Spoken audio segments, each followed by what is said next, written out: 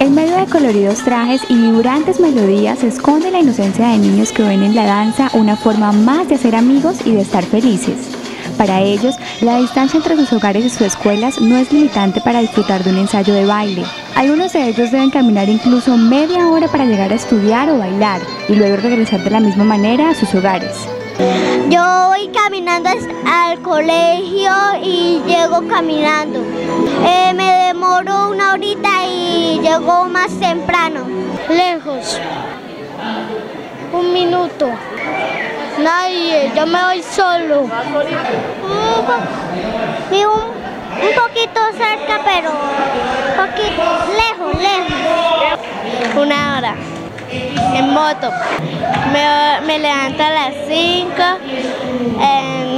me voy en un motorizado y llego al colegio. Son pequeños gigantes con espíritus inocentes que ven recompensados sus esfuerzos al ver en el rostro de sus padres la alegría del deber cumplido. Porque es bonito, porque es muy bonito bailar eh, todas las cosas que queremos hacer nosotros. Porque me parece bonito.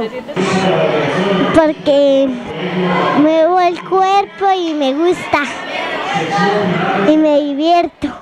La creatividad se destacó no solo en el baile, sino en la creación de los trajes.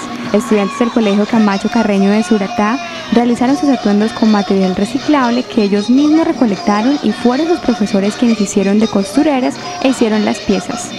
Eh, los trajes que traen los niños fueron elaborados gracias a la recolección de las basuras que ellos mismos lo hacían. Eh, si observamos de pronto, eh, los trajes son elaborados con plástico.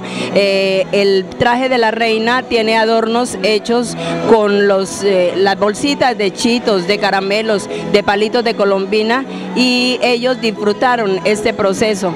Los mismos niños participaron en esto y realmente hoy los vemos felices de ver el resultado que hemos obtenido. Este grupo de niños hizo parte del cuarto Festival Chirriquiticos que se lleva a cabo en la Gobernación de Santander y que cuenta con la participación de representantes de diferentes municipios del departamento.